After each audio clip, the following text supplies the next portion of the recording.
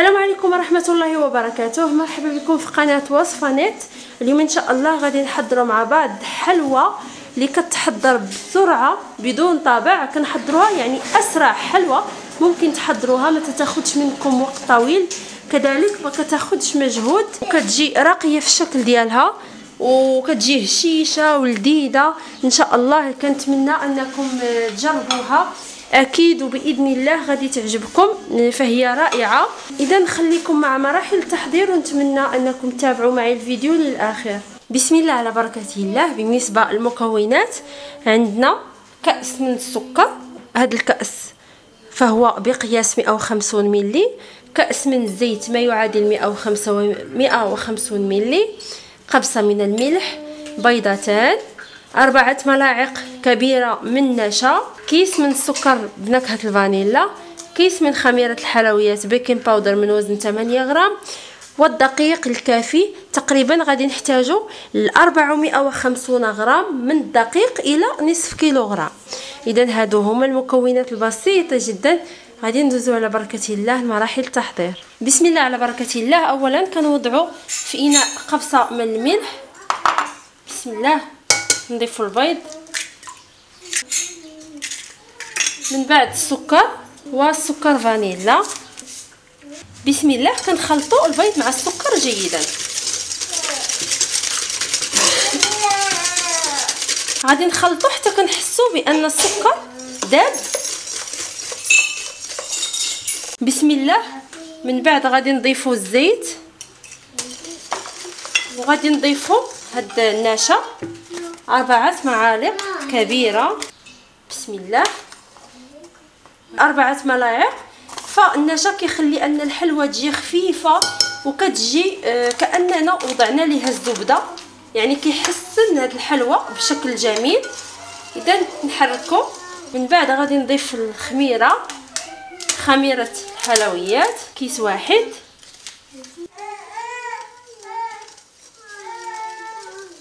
وغادي نستمر في إضافة الدقيق اللي هو مغربل اي منخول حتى كتكون عندنا واحد العجينة متماسكة. فكما قلت لكم كمية الدقيق هي تقريبا 450 غرام. بسم الله.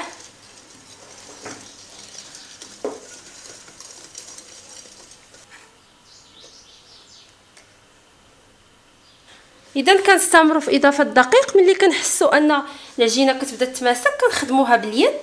كما ممكن توضعوها في الخلاط الكهربائي. بعد ما ضفنا كمية دقيق تقريبا 450 غرام أو 400 غرام. مهم كيبقى حسب الخليط. اذا ها هو الشكل ديالها. يعني غير حاولوا ما ديروش لها الدقيق بزاف. يعني تكون لينة خليوها تكون رطبة. لأنها ملي كنفوتوا ليها الدقيق كتولي كتتمشك وكتفرق علينا.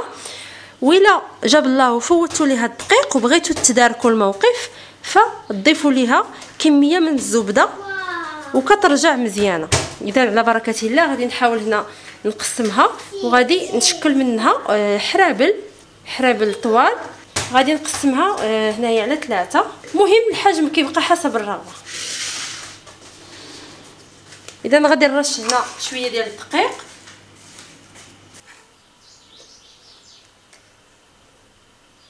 إذا غادي نقسم هاد الحربل للنصف هكا على حسب الحجم ديال القالب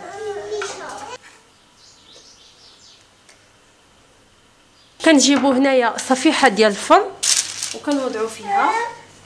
إذا هنايا غادي نحاول نقص غنوضعو بحجم الصفيحه هكا وهذا غنعاودو مرة أخرى. كذلك هذا. من بعد على بركة الله كنجيو للعجينة. كناخذوا آه، ملعقة يعني كنجيو لهذا الحربل اللي وضعناه في الأول بالملعقة وكنبداو نوضعوه هكا. نديروا ليها القليل من الدقيق.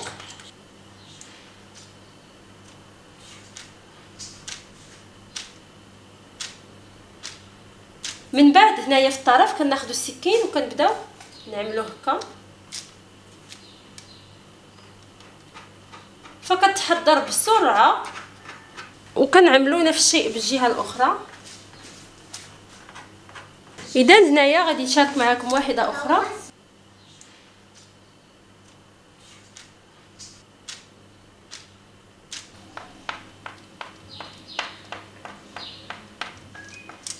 من بعد ما شكلنا الكمية الأولى كندخلوها للفرن درجة حرارة متوسطة. أنا هنا غادي نعملهم على 180 غنوضع النار من الأسفل حتى كيتحمروا ويطيبوا من بعد غنوضع النار من الأعلى باش يتحمروا كذلك من الفوق لكن من الأعلى كنخليوهم يتحمروا قليلا فقط باش كيبقى اللون ديالهم والشكل ديالهم جميل. وغادي نكملوا بنفس الطريقة غادي نعملوها العجينة المتبقية. بعد ما خرجنا الحلوى ديالنا من الفرن كما شفتوا معايا كيكون هذا هو الشكل ديالها. ها هو. كنحاولوا ما نحمروهاش جيدا من الأعلى كنحمروها فقط من الأسفل كتكون محمرة جيدا. كناخذوا المربى. ها هو. المربى ديال المشمش اولا المربى ديال الفراولة. أنا غنعملهم هنايا بزوج. غادي نعمل مربى الفراولة وكذلك المشمش. اللي كنسخنوه فوق النار. إلا بغيتو ما تسخنوهش ممكن لكن إلا سخناه كيكون أفضل. فما كيجي حتى كيبرد حتى كيولي متماسك جدا على الحلوى. أفضل من إلا درناه بدون تسخين. ها يعني هكا كيجينا أفضل. بسم الله. غادي نبداو الآن. نوضعوه هنايا في هذا المكان ولا في الحفرة اللي سبق لينا درنا.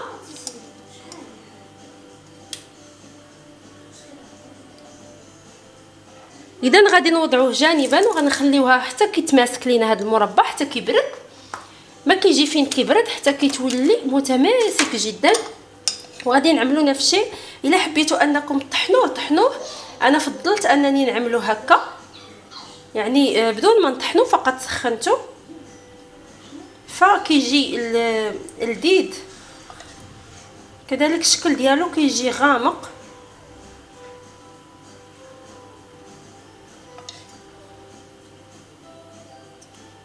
اذا هنايا عملت نفس الشيء سخنت هاد هاد المربى. وغادي نوضعو هنايا. بسم الله. اذا كما شفتوا من بعد ما كنسخنوا المربى فكيجي متماسك جدا. ها هو يعني ها هو. أفضل من اذا وضعنا عادي ما كيكونش متماسك. يعني هذه فقط واحد النصيحة. غادي نبداو الآن بالتقطيع كنحاولوا نوضعوا سكين وكنضغطوا هكا. دفعة واحدة. بهذا الشكل. المهم الحجم كيبقى حسب الرغبة. حاولوا تضغطوا دفعة واحدة باش ما تكسرش لكم هكا بسم الله.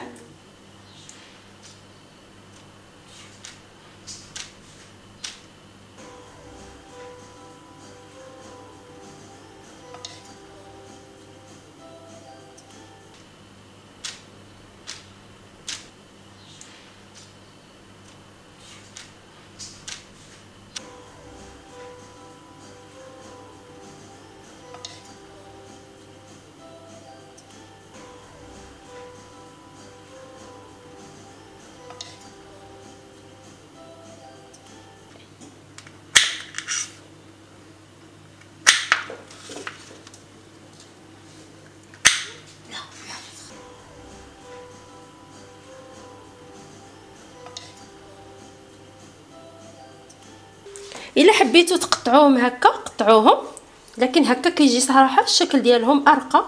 بسم الله.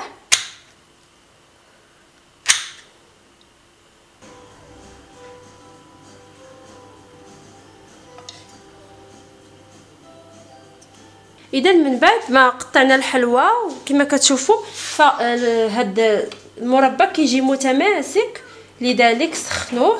ها هو ما كيلتصقش باليد ابدا. عكسي لو وضعتوه سائل فكيبقى في الحلوى من الأعلى ديالها. على بركة الله الآن كتزين والتزيين كيبقى اختياري. غادي ناخذ الكمية من اللوز. هكا وغادي نوضعو في الأعلى. إذا متابعينا هذا هو الشكل النهائي ديال الحلوى ديالنا. كتخرج كمية وفيرة ما شاء الله. إذا عندنا هذه وهادو مازال ما كملتش ليهم اللوز من الأعلى. وعندنا هادو. نتمنى إن شاء الله أنكم تجربوها. فهي اقتصادية والأهم كتحضر في دقائق يعني سريعة جدا. نتلاقاو في فيديو آخر ووصفة أخرى إن شاء الله. أستودعكم الله الذي لا تضيع ودائعه. والسلام عليكم.